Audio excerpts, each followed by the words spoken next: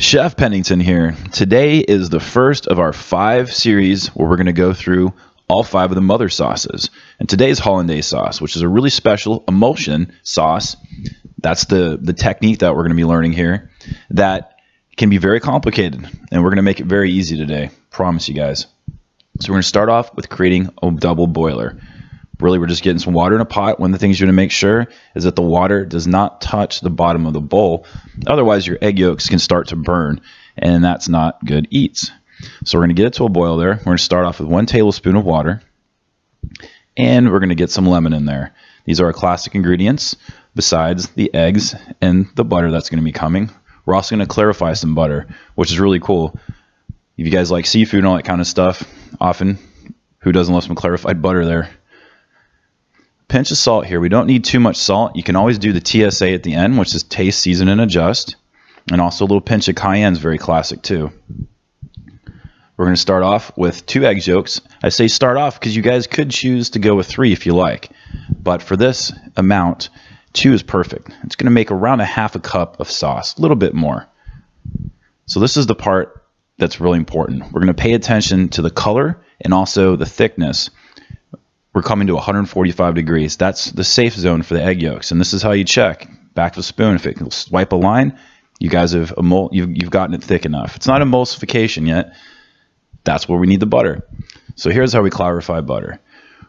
Please use high quality butter. A lot of the cheap butter in the store is really a lot of water. And when you start doing this process, you'll notice where'd all my butter go? So high quality butter.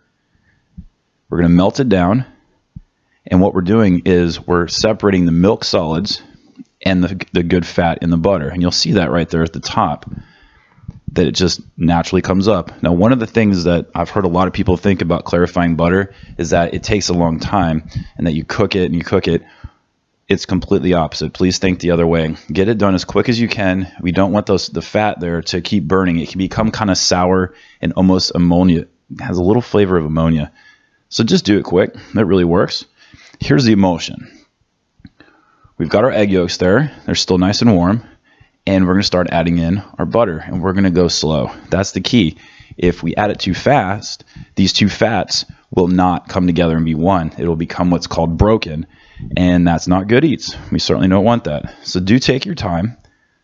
Control the temperature below 2. At this point, you want to definitely lower the water temperature. And you have hollandaise sauce. Very cool. So let's fix it, guys. This has happened to every cook that's ever made hollandaise sauce. It sits there and boom, you know, you're cooking and your timing in the kitchen gets a little off. It sets up, gets thick.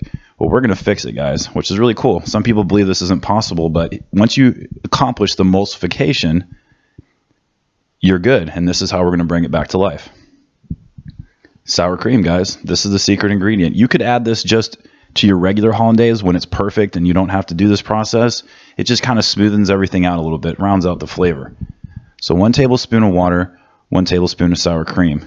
And you want to start off slow, get everything going. Once it starts coming together, you do want to you do want to whip it fast because there could be little pieces that get in there. So just take your time and no problem, everything works out great. And you guys just fixed hollandaise sauce. Wonderful for eggs benedict. That's what I personally love it for. So this is the first of our five sauces that we're going to go over, guys. So do stay tuned. Go ahead and subscribe to our channel. Hit the like button if you enjoyed. There'll be a link below. We'll have all the instructions and the ingredients and everything measured out for you on the website. And you guys take care.